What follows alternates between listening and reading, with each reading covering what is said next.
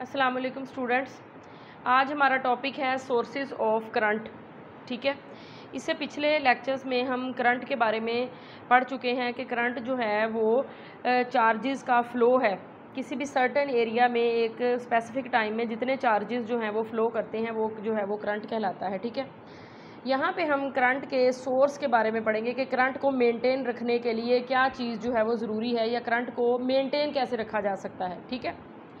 इसके लिए हम एक एग्ज़ाम्पल जो है वो डिस्कस करते हैं, जिसमें हमारे पास दो जो है वो कंडक्टर्स हैं। फॉर एग्ज़ाम्पल ये कंडक्टर जो है वो पॉजिटिवली चार्ज है तो हायर पोटेंशियल पे होगा और ये कंडक्टर जो है वो नेगेटिवली चार्ज है तो लोअर पोटेंशियल पे होगा। अगर हम इन दोनों कंडक्टर्स को एक वायर के ज़रिए जो है वो कनेक्ट कर दें तो क्या होगा कि चार्जेस का फ़्लो जो है वो स्टार्ट हो जाएगा due to the difference of the potential यानी एक जो है वो हाई पोटेंशियल पे है, एक लोअर पोटेंशियल पे है तो चार्जेस का फ़्लो जो है वो स्टार्ट होगा, जिसको कि हम करंट का नाम देंगे। लेकिन यहाँ पे ये देखें कि एक टाइम ऐसा आएगा कि जब दोनों कंडक्टर का जो पोटेंशियल है वो सेम हो जाएगा, ठीक है? तो क्या होगा कि करंट जो है वो स्टॉप कर जाएगा, क्योंकि अब करंट को मज़ीद उसका जो पोटेंशियल डिफरेंस है वो मेंटेन नहीं है। वो पोटेंशियल डिफरेंस उनके दरमियान रहा ही नहीं है तो इसलिए चार्जेस जो हैं वो फ़्लो नहीं कर सकते, ठीक है? इसी तरह से अगर यहाँ पे हम कोई ऐसा सोर्स प्रोवाइड कर दें जो इन कंडक्टर्स के दरमियान ये जो पॉजिटिव यानी हायर पोटेंशियल और नेगेटिव यानी लोअर पोटेंशियल को बरकरार रखे तो चार्जेस जो है वो हमेशा पॉजिटिव से नेगेटिव की तरफ़ जो है वो फ़्लो करते रहेंगे। अगर कोई हम सोर्स प्रोवाइड नहीं करेंगे तो एक स्पेसिफिक टाइम के बाद क्या होगा कि चार्जेस का फ़्लो जो है वो स्टॉप कर जाएगा और करंट जो है वो बहना बंद हो जाएगा, ठीक है? तो यहाँ पे हम जो कंडक्टर की बात करते हैं, वही कंडक्टर जिसको हमने पहले भी जो है वो हम डिस्कस कर चुके हैं कि एक हमारे पास मेटेलिक कंडक्टर है, जिसमें जो फ्री चार्ज कैरियर्स हैं, वो इलेक्ट्रॉन हैं। हम उसको एक जो पोटेंशियल डिफरेंस यानी बैटरी जो है उसके साथ कनेक्ट कर देते हैं।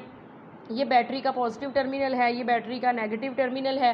पॉजिटिव टर्मिनल को जो है वो हायर पोटेंशियल और नेगेटिव टर्मिनल को लोअर पोटेंशियल कहते हैं।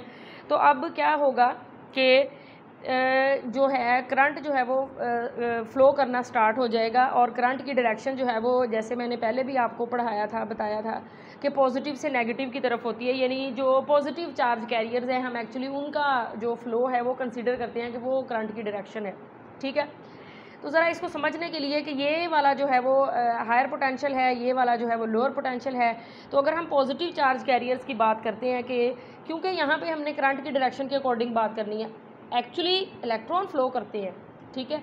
लेकिन यहाँ पे क्योंकि करंट की डायरेक्शन पॉजिटिव से नेगेटिव की तरफ़ हम लेते हैं कन्वेंशनल करंट की डायरेक्शन तो हम उन्हीं की बात करेंगे। फॉर एग्जांपल पॉजिटिव करंट जो है वो यहाँ पे अगर है, हम कहते हैं जी फ्लो करना स्टार्ट करते हैं। ठीक है? तो हायर पोटेंशियल से लोअर पोटेंशियल की तरफ़ आते हैं, ठीक है?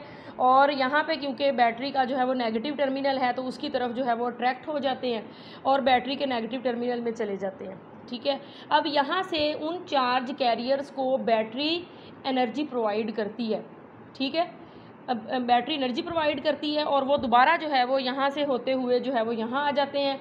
अगेन वो मूव करते हैं हायर पोटेंशियल से एनर्जी जो है वो अपनी लूज़ करते हैं नेगेटिव की तरफ़ आते हैं, फिर बैटरी पे पहुँचते हैं, फिर बैटरी उनको चार्ज करती है, बैट मतलब बैटरी उनको एनर्जी देती है और फिर जो है वो इसी तरह से वो चलते रहते हैं। यहाँ पे ये वाला जो कंडक्टर है, ये हमने समझाने के लिए लगाया हुआ है अदरवाइज़ यहाँ पे कोई भी अप्लाइंसेस हो सकती है, जो कि उन चार्जेस की एनर्जी को जो है वो यूटिलाइज़ मतलब कर रही होगी, ठीक है? इसका मतलब ये हुआ कि यहाँ पे अगर लोअर पोटेंशियल है, यहाँ पे हायर है तो इनके अकॉर्डिंग जो है वो बैटरी जो है वो चार्जेस को मूव करवाती है। फॉर एग्जांपल इन दोनों एंड का पोटेंशियल जो है वो बराबर हो जाए। हाई ये भी हाई है, ये भी हाई है तो आप ये देखें कि चार्जेस कैसे फिर मूव करेंगे। फिर वो मूव ही नहीं करेंगे, ठीक है? इसका मतलब ये हुआ कि बैटरी जो है वो क्या देती है? वो है सोर्स ऑफ़ एनर्जी यानी बैटरी जो है, वो उन चार्जेस को जो बैटरी के यहाँ पॉजिटिव एंड से शुरू होकर नेगेटिव एंड तक पहुँचते हैं, बैटरी जो है वो उनको एनर्जी प्रोवाइड करती है। और वो अगेन दोबारा से जो है वो अपनी एनर्जी को यहाँ पे यूटिलाइज़ करते हैं, फिर इस एंड पे पहुँचते हैं, फिर बैटरी उनको एनर्जी देती है और वो इस तरह से जो है वो चलते रहते हैं। तो इस तरह से एक स्टीडी करंट जो है वो मेनटेन रहता है, ठीक है? अगर यहाँ पे हम बैटरी जो है वो हटा दें तो क्या होगा कि करंट जो है वो यहाँ पे पॉजिटिव से लेके नेगेटिव तक, यानी जब तक पोटेंशियल जो है वो बराबर नहीं हो जाता दोनों का, तब तक करंट जो है वो फ्लो करेगा, उसके बाद जो है वो फ्लो करना जो है वो बंद कर जाएगा। इसका मतलब ये हुआ कि बैटरी हमारे पास सोर्स ऑफ़ एनर्जी है। कौन सी एनर्जी इलेक्ट्रिकल एनर्जी ठीक है? तो यहाँ पे बैटरी, यहाँ पे सोर्स ऑफ़ करंट भी है। यानी कि बैटरी जो है वो उसने क्या किया हुआ है? एक कांस्टेंट पोटेंशियल डिफरेंस को मेंटेन किया हुआ है, ठीक है? तो इसका मतलब ये है कि सोर्स ऑफ़ करंट क्या हुआ? क्या device that maintain the constant potential difference जिसकी वजह से करंट जो है वो मूव यानी फ्लो करता है चार्जेस जो है वो मूव करते रहते हैं और बैटरी उनको एनर्जी इलेक्ट्रिकल एनर्जी जो है वो प्रोवाइड करती रहती है, ठीक है? अब ये देखें कि अगर बैटरी एनर्जी जो है वो प्रोवाइड करती है तो इसका मतलब है ये कोई और एनर्जी होगी जिसको इलेक्ट्रिकल एनर्जी में यूटिलाइज़ कर रही होगी। यानी कोई और सोर्स होगा जो बैटरी को एनर्जी जो है वो दे रहा होगा, क्योंकि एनर्जी जो है वो ना तो क्रिएट की जा सकती है और ना ही जो है वो डिस्ट्रॉय की जा सकती है, बल्कि ट्रांसफ़र जो है वो होती है एक फॉर्म से दूसरी फॉर्म में, ठीक है? तो इसका मतलब जो है कि हमारे पास जो करंट के जो सोर्सेज हैं मेन, वो कितने हैं? ठीक है? जो करंट के सोर्स हैं, वो एक्चुअली क्या करते हैं कि convert some non electrical energy into electrical energy यानी इस बैटरी बैटरी जो है वो हमें इलेक्ट्रिकल एनर्जी दे रही है तो इससे पीछे जो है वो क्या है कि कोई भी ऐसा सोर्स और है जो कि नॉन इलेक्ट्रिकल एनर्जी को इलेक्ट्रिकल एनर्जी में जो है वो कन्वर्ट कर सकता है। तो इसकी जगह पे फिर क्या हो सकता है? तो हमारे पास यहाँ पे कुछ सोर्सेज हैं। सबसे पहला सोर्स है हमारे पास सेल ठीक है? ये आम आपने लाइफ में भी सेल जो हैं वो देखे होंगे।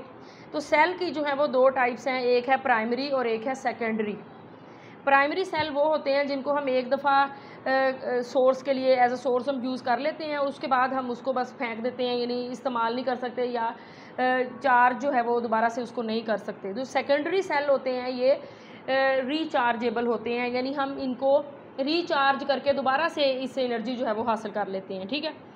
सेल में जो है वो कौन सा प्रोसेस होता है, यानी कौन सी एनर्जी को इलेक्ट्रिकल एनर्जी में कन्वर्ट किया जाता है?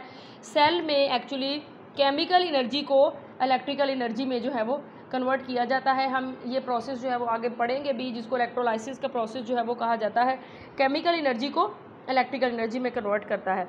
उसके बाद सेकंड यहाँ पे हमारे पास सोर्स है इलेक्ट्रिकल जनरेटर्स ठीक है?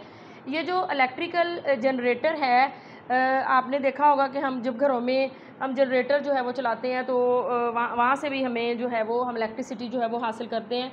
जनरेटर के अंदर एक्चुअली जो प्रोसेस हो रहा होता है, यहाँ पे हम उसको डिटेल में तो नहीं पढ़ेंगे, लेकिन एक्चुअली वहाँ पे हमारे पास जो एक प्रोसेस है, जैसे ये जो है वो, दो मैग्नेट के दरमियान जो है, वो एक ऐसे कॉयल होती है जिसको जो है वो रोटेट करवाया जाता है, इस कोयल को जो है वो मकैनिकली रोटेट करवाया जाता है और रोटेट करने की वजह से जो है वो इस कोयल में करंट जो है वो जनरेट होता है। ठीक है, ये एक अलहदा प्रोसेस है। आगे हम मज़ीद जो हमारे लेक्चर्स होंगे, हम उसमें देखेंगे डिटेल से।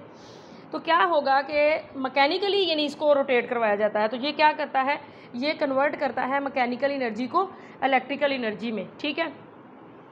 उसके बाद हमारे पास आ जाता है थर्मोकपल थर्मोकपल में, थर्म का मतलब जो है वो हीट से है और कपल का मतलब जो है वो दो जो टाइप्स की या दो जो मटेरियल होते हैं हमारे पास, उसकी जो हमारे पास वायर्स जो है वो होती हैं।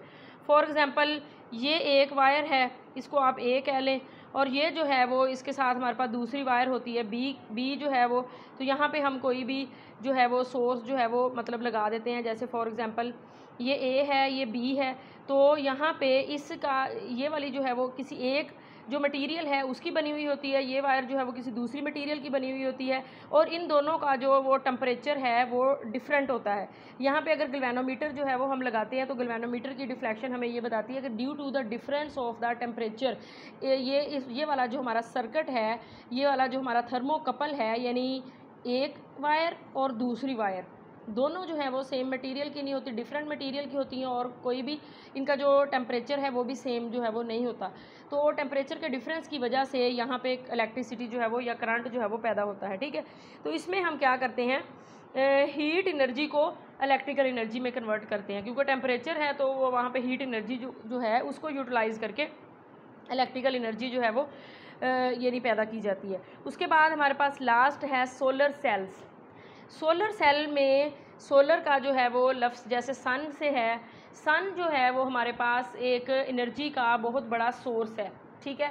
हम इस सोर्स को मुख्तलिफ़ तरीक़ों से जो है वो इस्तेमाल कर सकते हैं, ठीक है? हम डिवाइसेस बनाते हैं जिनको सोलर पैनल कहा जाता है।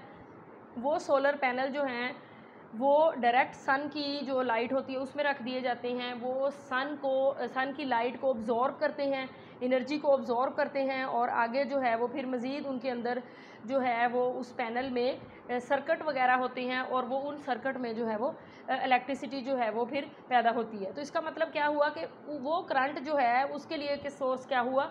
सोलर यानी कि जो आ, हमारा जो सोलर यानी कि हमारा जो सन है वो ठीक है?